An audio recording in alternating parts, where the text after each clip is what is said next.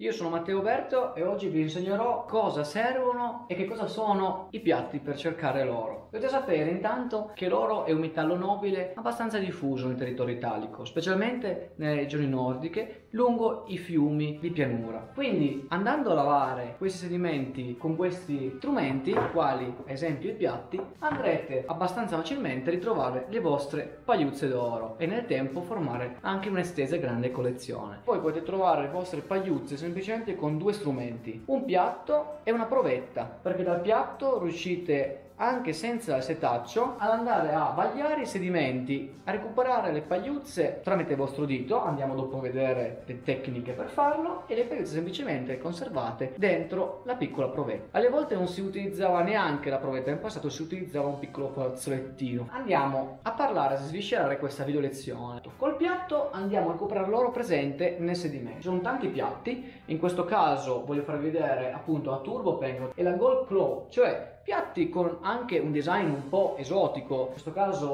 origine americane, in questo caso origine australiane. Ma tendenzialmente ci sono tantissimi piatti diversi da cui scegliere e non posso dirvi che ce ne sia uno migliore dell'altro. Vi posso dire che alcuni piatti sono più facilmente recuperabili tramite Amazon, eBay o altri siti, soprattutto i siti che vendono anche Metal Detector di solito vendono anche questi kit. Altri piatti sono più invece locali, hanno un design fatto da particolari cercatori d'oro, li hanno diffusi localmente sul territorio. Questo è il caso sicuramente del piatto Victimula e Tecnogeo. All'estero inoltre si utilizzano anche piatti in legno. Tutti questi piatti hanno un'origine comune il piatto conico. Potete immaginare anche voi il funzionamento. Visto il loro molto pesante, va al fondo, cioè l'apice. Ma nel momento in cui noi il piatto conico andremo a tagliarlo a una certa altezza, si creerà un piatto tronco conico ed è quello più diffuso al momento attuale in Italia. Ecco questo è semplicemente un cono tagliato. La base piatta è molto importante perché si riesce a aprire, in gergo si dice il concentrato sul fondo, cioè a distribuire i granuli e le pagliuzze d'oro sul fondo. Quindi nel momento in cui noi avremo solamente un cucchiaio di concentrato, spargerlo su questo fondo molto ampio sarà molto semplice e di conseguenza con, per mezzo della pipetta si potrà andare a rimuovere l'oro. In questo caso questo è un piatto tecnogeo e c'è quest'altro caso un piatto vittimula. Questo è diffuso più nel biellese, questo è diffuso più nell'ovadese. In questo caso invece sono dei piatti anche competitivi, piatti molto sfasati, piatti in cui si crea un, un, cumulo di terra, di sedimento al centro e l'oro va a essere recuperato su un fondo che è più depresso rispetto al resto del piatto, chiamato trappola. Ci sono proprio delle vere e proprie gare eh, legate alla ricerca delle pagliuzze che, calcolate, riescono a lavare un, circa un secchiello di sedimento in pochi minuti. E questi piatti eh, competitivi hanno anche un riflesso importante per quanto riguarda la produzione, cioè quel momento in cui voi siete nel fiume avete già fatto la prospezione, sapete dove c'è l'oro, sapete quanto ce n'è, sapete come andarlo a coltivare, ma vi serve uno strumento che purtroppo è la canaletta. Ma la canaletta non c'è l'acqua corrente per adoperarla. Guai a voi se usate le pompette, ad esempio quelle elettriche, alimentate a motore, benzina, eccetera, perché non si può in Piemonte. Bisogna attrezzarsi, ad esempio con un invaso naturale, utilizzando dei semplici ciottoli, mettendo un telo di nylon, alzare localmente un po' l'acqua per mettere la canaletta. La canaletta deve essere inclinata per funzionare adeguatamente. Purtroppo anche in queste condizioni, alle volte non c'è acqua corrente per utilizzare la canaletta nel fiume e di conseguenza è molto conveniente utilizzare questi piatti per fare produzione, cioè per lavare il sedimento al posto della canaletta. Sarà più faticoso, ma si arriva comunque a ottimi risultati. E quindi ci sono tantissimi piatti concentratori di diversi, grandezze diverse, eh, tendenzialmente anche questi sono costruiti dagli stessi cercatori, sono molto leggeri funzionali, ci sono anche design particolari. Ecco, potete sbizzarrirvi anche voi a costruire questi piatti a casa, perché sono dei normalissimi compensati, tagliati ad anelli più o meno in base allo stile che volete e di conseguenza eh, graffettati, incollati, stuccati. Ovviamente sono strumenti che necessitano di manutenzione. E quindi il piatto concentratore può essere utilizzato, come in questo caso in cui l'acqua vedete che ferma, per lavare quantità più importanti di sedimento, un secchiello lavato con un piatto necessita diversi minuti. Dal momento in cui usate un piatto concentratore, tendenzialmente dimezzate, soprattutto se c'è un'altra persona accanto a voi che continua a versare del sedimento sul piatto in maniera ritmica. Ma cosa succede all'interno di un piatto? Guardando un piatto in sezione, Quando lo riempiamo di sedimento, io vi consiglio comunque circa due terzi o poco più di due terzi, non riempite mai il piatto tutto,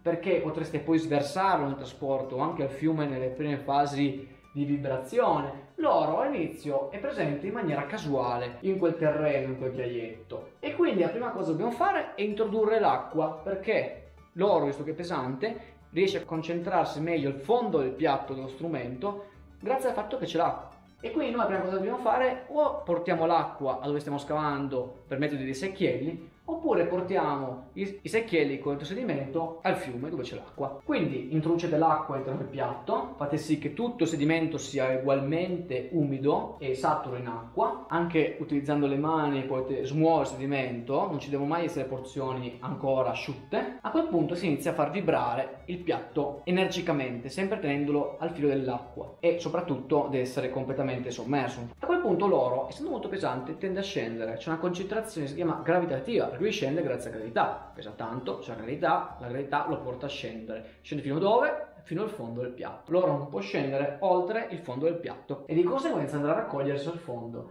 Ma noi vediamo anche una cosa interessante. Vediamo che salendo dal fondo ci sono dei minerali che sono di, suddivisi tra di loro anche di nuovo legati alla loro densità. Quindi avremo magnetite, il granato, il quarzo. Perché? Perché il quarzo è più leggero del granato, il granato è più leggero della magnetite e di conseguenza c'è una stratificazione gravitativa.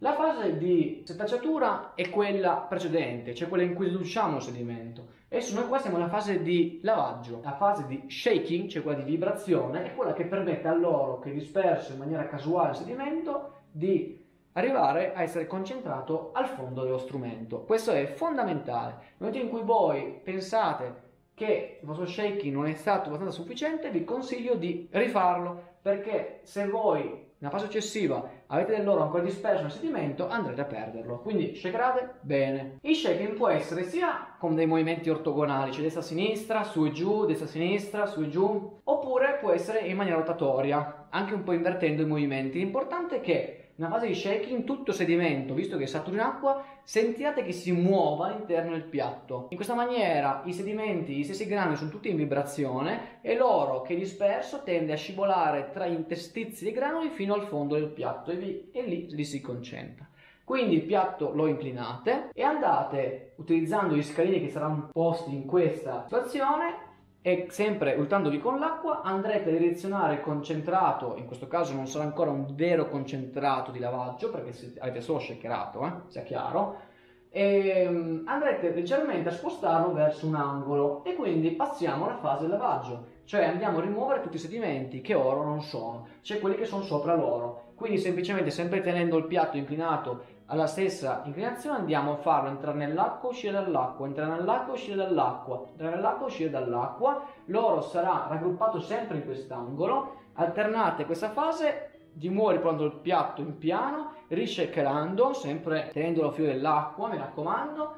L'oro di nuovo rimarrà al fondo. A questo punto potete continuare fino a ottenere un concentrato di lavaggio, di solito è un cucchiaio o due di volume, o piuttosto lo distribuite sul fondo utilizzando il fondo piano del vostro strumento per già andare a individuare le pagliuzze e soprattutto questo è utile nella fase speditiva. Quando voi andate a inclinare il piatto e andare a inserirlo nel fiume, toglierlo dal fiume, tenendo sempre questa inclinazione, cosa succede? Quando lo inserite nell'acqua, l'acqua va verso monte perché riempie il vostro piatto. Quando poi il piatto lo rimuovete, l'acqua tende di nuovo a scendere e portandosi con sé i sedimenti più superficiali, sterili, di solito ricchi in quarzo o mica. I riffles, cioè queste trappole, ecco perché sono utili, perché vanno a trattenere queste pagliuzze dallo scivolare. Le pagliuzze più piccole potrebbero anche superare i primi scalini, ecco perché ce ne sono diversi scalini perché oro tende a scivolare in questo movimento. Quello che andrete a capire grazie a queste lezioni è che l'oro è molto pesante e noi andremo a recuperarlo col piatto proprio grazie a questa sua caratteristica che è molto pesante. Grazie a questa caratteristica si andrà a concentrare al fondo del piatto nel momento in cui noi andremo a shakerarlo energicamente nell'acqua e ciò sarà proprio il principio secondo il quale riusciremo successivamente a dividerlo. Ma è anche vero che l'oro molto fine potrebbe non subire questo destino e potremmo inesorabilmente andarlo a perdere. E fine, e non ha avuto il modo e il tempo di andare al fondo. Oppure alcune porzioni di sedimento non avete fatto attenzione sono rimaste asciutte e di conseguenza l'oro non è riuscito ad andare al fondo, dopo il lavaggio andrete a perderlo. Vi consiglio sempre di per l'acqua, sia per setacciare che per lavare. Il risultato sarà questo, avrete due cucchiai di sedimento dal quale riuscirete a estrapolare le pagliuzze presenti. Queste pagliuzze con il lavaggio di rifinitura andrete a rimuovere tutto il sedimento pesante, che oro non è, e a ottenere questo risultato. Da andare a prendere o col dito asciutto, un pelino umido e metterlo dentro la provetta con un po' d'acqua, l'oro a contatto con l'acqua va giù al fondo oppure con la pipetta con un filo di acqua. Quindi andando a riassumere in maniera molto pratica quello che ho detto, andate a riempire due il piatto, ponete il piatto in acqua, lo shakerate energicamente oro al fondo, inclinate leggermente il piatto e andate utilizzando gli scalini a diminuire il contenuto del piatto. Quindi andate a osservare sul fondo il contenuto. Ciò è anche valido per il lavaggio di rifinitura,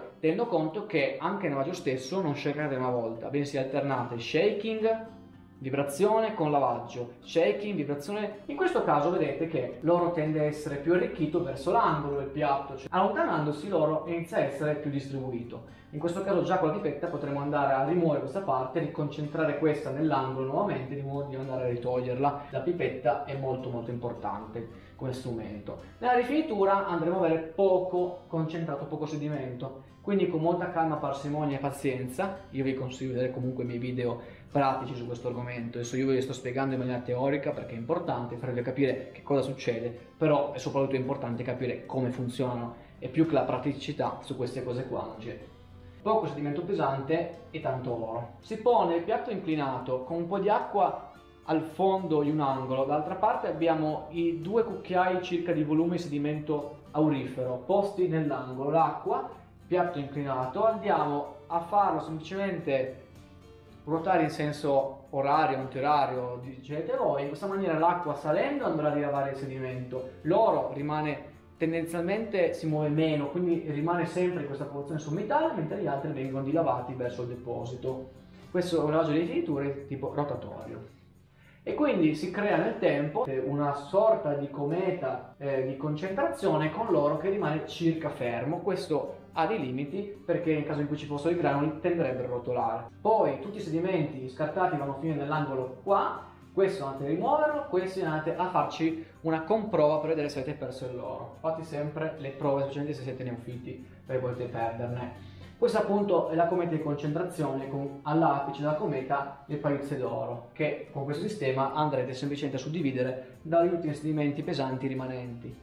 E c'è questo lavaggio di rifinitura frontale, sempre tenendo il piatto inclinato verso di voi, sempre tenendo un po' di acqua al fondo, si parla di tre dita, andate a muovere quest'acqua con dei movimenti avanti e indietro verso il concentrato di lavaggio e l'acqua semplicemente scendendo andrà a trasportare i minerali pesanti che ora non sono, però scendendo verso il centro non più dai lati. Il risultato che otterrete è circa questo. Vedete che con questi sistemi, soprattutto per oro molto fine, rimane complicato suddividere completamente l'oro in un angolo dal resto e quindi dovete avere molta pratica per fare ciò piuttosto che utilizzare delle cannette a casa per andare a ridurre quanto più possibile il concentrato.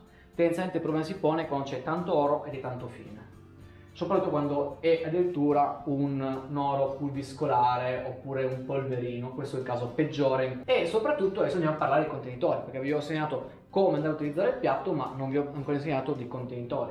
Ora i contenitori sì, potete tenerli a casa, ma anche sul fiume di solito i ricercatori si portano delle piccole provette. Dovete pensare che è più comodo comunque una pipetta, ma anche la provetta fa il suo effetto portare a casa e dire oggi ho trovato questo. Le provette di solito sono provette in plastica e non in vetro perché il vetro sono più fragili, anche se quelle in vetro sono più eleganti. Di solito i tappini non sono tappini in sughero ma sono tappini di plastica a vite.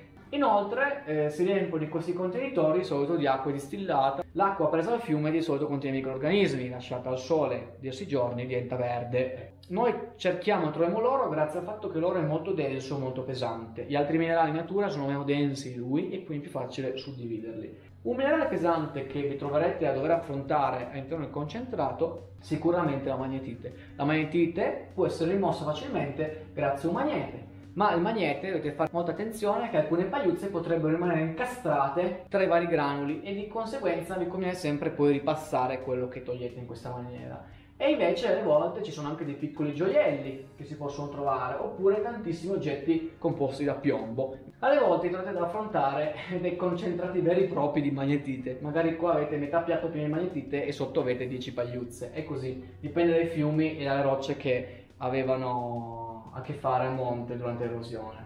Questo è semplicemente un contenuto per spiegarvi come succede e come funziona un semplice magnete. Un magnete in questo caso a stantuffo cioè voi lo pigiate, fa il suo effetto, lo mettete in un altro contenitore, rilasciate per la molla lontana, queste, queste componenti si raccolgono in un contenitore a parte e rimane il contenitore di prima con le pagliuzze d'oro. Basta mettere un bicchiere di plastica e, e, metterci un magnete dentro e toglierlo con un filo, il magnete è legato a un filo, è veramente semplicissimo. Li vendono comunque anche, vedo di mettervene qualcuno in descrizione. E si arriva anche alla fotografia, cioè visto che la ricerca dell'oro è un hobby finalizzato tendenzialmente al lato scientifico e culturale, si arriva a ottenere alla fine della giornata una provetta con dell'acqua che va anche a fare un effetto lente, fa vedere meglio le pagliuzze all'interno. Per fare le foto conviene sempre mettere una scala di riferimento. Per le pepite tendenzialmente si usano delle piccole monete e invece per le pagliuzze della carta millimetrata un piccolo righello come in questo caso una semplice mano. Oppure per le pagliuzze più grandi dimensioni, più appetite, un righello. Inoltre, eh, in alcuni casi sta a voi, puoi scegliere, esempio qua c'è un oro polverino e vedete che c'è una moneta, non è una pepita, quindi sta proprio a voi la scelta della scala di riferimento. Comunque è molto importante perché fate capire ai vostri osservatori di quanto è grande eh, la pagliuzza e granuli d'oro che avete trovato. Io quindi vi ringrazio dell'attenzione per questi video che state seguendo con tanta perseveranza, vi ringrazio dei commenti, vi ringrazio delle vostre interazioni. Io sono Matteo Berto, vi auguro una buona giornata e ci vediamo al prossimo video.